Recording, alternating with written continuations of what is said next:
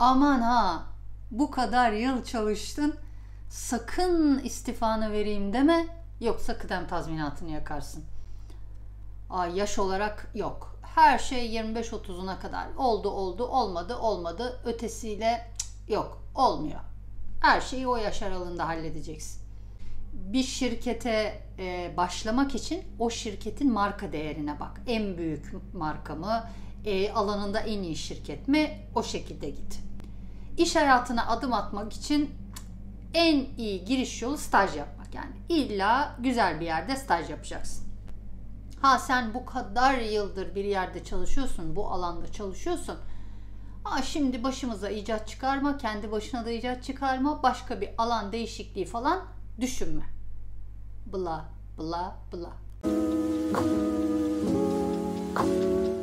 Şaşırdınız değil mi benden bunları duyunca? Çünkü benim videolarımı, benim yazılarımı, benim paylaşımlarımı az buçuk takip eden tarzımı, tavrımı, fikrimi, zikrimi e, bilen ve tahmin eden hiçbir takipçim, izleyicim böyle tavsiyeler vereceğimi düşünmez. Hatta duyarsa ne oluyor ya der. Belki siz de öyle demiş olabilirsiniz. Şu andaki o müthiş zeka kıvılcımları kopartan tavsiyeleri duyduğunuzda işte bu videoda kariyerinizle ilgili verilebilecek, duyabileceğiniz en yanlış belki de duymuş olduğunuz, verilmiş olan en yanlış tavsiyeler üzerine aklıma gelenlerden birkaç tanesi başta paylaşarak bu konuda e, kendi yorumlarımı aktarmak istiyorum. E, öncelikli olarak şu aman ha istifa etme yoksa bunca yıl çalıştın kıdem tazminatını yakarsın noktasından başlayayım. E, elbette bir yerde uzun süre çalışmak belirli bir kıdem getiriyor bize.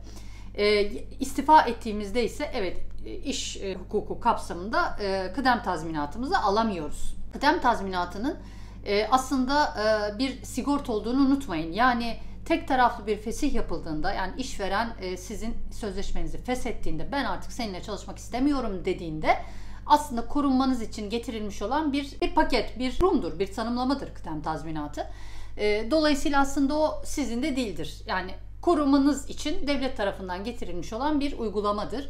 E, evet belirli zamanda 10 yıl 15 yıl çalışıp da hani e, belirli bir para birikmiş oluyor. On, ondan vazgeçmek uzun süre çalışmış olanlar için pek mantıklı gelmeyebiliyor ama siz aman ben kıdem tazminatımı yakmayayım, yakmayayım, yakmayayım, yakmayayım dedikçe 3 sene, 4 sene, 5 sene, 6 sene o şirkette mutsuz bir şekilde, depresif bir şekilde, böyle kıpana kısılmış, e, gerçekten çok mutsuz şekilde çalışmaya devam ettiğinizde bunun için kaçırdığınız bir fırsat maliyeti olduğunu unutmayın. Yani bu ne demek biliyor musunuz? Kendinizi oraya vakfederek, orada çalışmaya devam ederek aslında e, orada çalışmadan serbest olduğunuzda yapabileceğiniz şeylerden feragat etmeniz anlamına geliyor. Onları kaçırmanız, onları ıskalamanız, bile isteye onları yapmamanız anlamına geliyor. İşte bu fırsat maliyetini e, doğru değerlendirmek lazım. İkinci tavsiye aman şu yaşla ilgili tavsiye. Aman ne çok duyuyorum bu yaşla ilgili olan tavsiyeyi. Ay işte şunun için geç, bunun için erken. Aman e, 28 yaşında e, müşterim bile bana diyor ki geç mi kaldın Banu Hanım? Yani böyle şeyleri duyunca gerçekten üzülüyorum. Ee, yaş noktası hepimize pompalanan ciddi bir baskı alanı. Gerçekten ama gerçekten öyle. Özel hayatımız için öyle, iş hayatımız için öyle. Hep gelip tıkanıp bir yaşa tosluyoruz yani. Neden hani böyle olduğunu da bilmiyorum ama bu coğrafyada sanki bu daha fazla gibi. E, mesela önemli insanların önemli başarıları imza atmış büyük girişimleri hani 40 yaşından sonra kurulduğu ile ilgili pek çok paylaşım, pek çok bilgiye ulaşabilirsiniz mesela. Bunun dışında insanların en büyük kariyer sıçramalarını e, hani 5 yıl, 10 yıl, belki 35'inden sonra, belki 40'ından sonra yaptığını da e, bununla ilgili araştırmalar yapsanız karşınıza gelebilir. Fakat illaki hani bir şeyleri matematik olarak yaşın içine sıkıştırmak, aman bu 28-30 arasında oldu oldu olmadı olmayacak ya da işte 35'inden sonra bu iş yok, yaş. Ya böyle şeylere inanmadığımı defalarca bu videolarda samimiyetle, kalbimden ve gönlümden sizlerle paylaştım. Benim gibi düşünen sayısız insan olduğuna da eminim. Bir kez daha bu videoyla altını çizmek istiyorum. Ya kime göre, neye göre bu yaş durumu?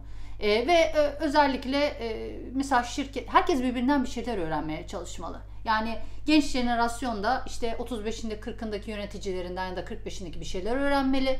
İşte ne bileyim yaşı e, büyük jenerasyonda küçüklerden bir şeyler öğrenmeli. Yani gençlerden 25 küçük dedim kusura bakmayın. 20'li yaşlardan, 25'li yaşlardan vesaire yani bir şeyler öğrenmeli. Hayat böyle bir şey yani. Hani ama sen çok gençsin, sen çok yaşlısın deyip kendimizi sınırlamayalım lütfen. Ee, çok irite olduğum bir mevzu bu. Ondan sonra diğer tavsiye ise yani kariyerdeki yanlış tavsiyelerden biri. Aman sen yıllardır bu işte çalışıyorsun büyük bir emek verdin işte bir yere kadar geldin şimdi nereden hoppala alan değiştirmek istiyorsun ya belki sıkıldın ya, başka hiçbir açıklaması yok. Tek kelimeyle sıkıldın yani. Bezdin yani belki.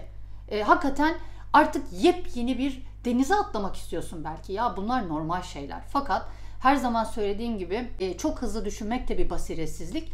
E, ona göre adım atmak da yani çok çok çok yavaş düşünüp 40 kılı 40 yarmak da bir basiretsizlik. Yani bir şekilde eğer e, bulunduğunuz emek verdiğiniz alanla ilgili doygunluğa ulaştığınızı ve gerçekten bazı şeyleri kaçırma yani o fırsat maliyetini doğru hesaplayarak kaçırdığınızı hissediyorsanız ve ötesi yeni bir okyanusa, yeni bir denize atıldığınızda bazı fırsatları yakalayabileceğinizi biliyor, görüyor, öncesinden bir ön fizibilitesinin çalışmasını yaptıysanız e bir şekilde deneyebilirsiniz demektir. Yani burada da yine keskin çizgilerle e, sınırlar çizmekten imtina ediyorum. Ben bir kariyer mentoru olarak profesyonel kariyer hizmetleri alanında, kişisel kariyer markası alanında çalışan bir insan olarak tüm danışanlarıma bunları belirtiyorum. Esnek olabilmek insana çok şey kazandırır. E, kariyerinin başında, kariyerinin ortasında, ileri doygun seviyede esneklik, esneklik, esneklik. Devam ediyorum. Şirket e, iş değiştireceğiz. Şirket karşımızda birkaç şirket var. Aman en iyi para vereni seçelim oraya gidelim. Yani e, neydi? 3 kuruş fazla olsun e, orası olsun. Şimdi arkadaşlar bir yerden bir yere iş değişikliği yaparken e, bir listemiz olacak. Bunu da mesela e, danışanlarımla çalışıyorum. Listemiz olacak maddelerimiz olacak. Yani biz bir yerden bir yere iş değiştirirken özellikle de belirli bir deneyim seviyesindeysek bakacağımız tek şey bize verilecek olan e, para artışı değil. Bizim beklentilerimizle birlikte o şirketin beklentilerinin uyuşması ve biz o koltuğa oturduğumuzda yepyeni bir e, arzu ettiğimiz yepyeni bir denize e, girebiliyor olmak. Bunun içerisinde görevle ilgili çerçeve var, rol, rolün inisiyatif alanı ile ilgili çerçeve var, ekip var, bütçe var, yapılmak istenenler var. E, şirketin tabii ki bu e, rol için e, size uygun gördüğü bir rakam var. Artı yan haklar var. Yani sadece ve sadece net maaşa bakarak bir karar verilmemesi gerekir. Özellikle orta ve ileri seviyedeki kariyer hareketleri için. Bence kariyerin başındakiler için de şunu önerebilirim. E, aman sadece hani bir iki tane şirket var sen en e, alanında marka olanı seç o sana iyi bir kariyer getirir. Yok. Öyle bir durum da söz konusu değil. Ya bazen karşınızda çok büyük bir şirket olur ama büyük şirketlerin de kendilerine göre bazı sıkıntıları ve problemleri vardır. Bunu lütfen unutmayın. Büyük kurumsal yapılarda istediğiniz kadar hızlı, çevik, e, böyle istediğiniz şeyleri yapamayabilirsiniz ya da çok uzun zaman alabilir. Ya da görece biraz daha küçüktür ama müthiş gelişime açık bir şirkettir. Kafa gençtir, vizyon gençtir e, ve bu imkanlar da hazırdır. Mesela onun için doğru seçebilmek lazım. Doğru terazinin kefelerini doğru dengeleyebilmek, ona göre objektif karar verebilmek lazım. E, bunlara dikkat etmek gerekiyor. Ne sadece e, para için değişiklik yapmak gerekiyor ne de sadece şirketin ismi için aldanıp değişiklik yapmak gerekiyor. Bununla da ilgili videolarımda çok problemler yaşanıyordu. Paylaşmıştım daha önceki videolarımda. Olaylarda çok problemler yaşanabiliyor böyle geçişlerde. Abi bakıyorsunuz aldanıyorsunuz e, müthiş büyük bir şirket, jan janlı bir şirket efendim. Şöyleyiz biz, böyleyiz. Doğum günü paketi var, o var, bu var. Yoga yapıyorsun, atlıyorsun, zıplıyorsun. Hop içine giriyorsunuz. Giriş o giriş. Öyle bir sükutu hayali vuruyorsunuz. E, dediğim gibi bu konularda çok fazla deneyim e, yaşayan müşteriyle görüştüğüm ve konuştuğum için müşterimle e, çok fazla hikayem var. Devam ediyorum. E, sadece ve sadece işine odaklanmalı. Hani bir alanda yetkin bir uzman olmalısın. Bu da artık kendini çürüten bir kariyer tavsiyesi olmaya başladı. Çünkü artık bir kariyer jonglörlüğü, bir portföy kariyeri gibi kavramlar e, ortada ve bu kavramlar konuşuluyor. Bunu da ben defalarca dile getirdim. Yani sadece ve sadece tek bir alanda uzmanlık müthiş e, kıymetli bir şey ama tek bir alanda uzmanlığın çok prim yaptığı zamanlarda artık evriliyoruz. Hatta bunu son 5 yılda da son 10 yılda da bence yavaş yavaş gördük, görmeye devam ediyoruz. Daha fazla göreceğiz. Yani kişinin derinleşebiliyor ve genişle, e, genişleyebiliyor olması lazım uzmanlık alanında. Mesela siz e, kod yazıyorsunuz, bir mühendissiniz. Belki ilgi alanınız varsa işte sosyal medya ya da dijital işlere de yavaş yavaş kayabilirsiniz mesela. Ya da işte bir eğitim tasarımcısısınız. İşte çok güzel konularda eğitimler tasarlıyorsunuz.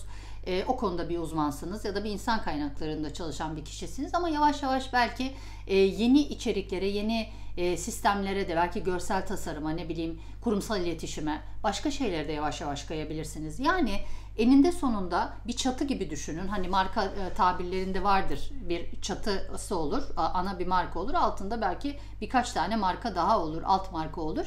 E, Procter Gamble, Unilever örnekleri gibi altında mesela pek çok marka vardır. Sizin de ana bir uzmanlığınız olur. O ana uzmanlığın altında aslında e, belli başlı bazı farklı uzmanlık alanlarınız da olabilir. İşte bunlara portföy kariyeri diyoruz ve bunlardan para da kazanabilirsiniz. Jonglörlük gibi.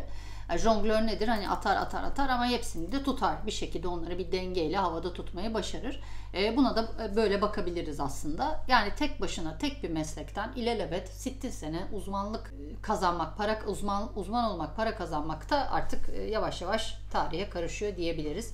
Aslında pek çok kariyer tavsiyesi var yanlış olarak addedebileceğim bu dönemlerde ve bu dönemden sonra. Benim aklıma gelenler şu anda ilk etapta bunlar oldu. Lütfen yorumlarda siz de fikirlerinizi belirtin. Şimdiye kadar duyduğunuz size en absürt gelen kariyer tavsiyeleri nelerdir? Merakla bekliyor olacağım. Bana ve kanal kanalıma ilk defa denk geldiyseniz e, biraz geç oldu. Kusura bakmayın ama hoş geldiniz demek istiyorum. E, tabii ki beğenileriniz, e, desteklemeleriniz e, ve yorum yapmanız benim için çok kıymetli. Abone olmanız çok kıymetli. Lütfen es geçmeyin, lütfen unutmayın. E, bir sonraki videoya beni izlediğiniz için çok teşekkür ederim ve bir sonraki videoya kadar liderliğin ünvanınızda değil, sizin ruhunuzda olduğunu unutmayın. Görüşmek dileğiyle. Hoşçakalın.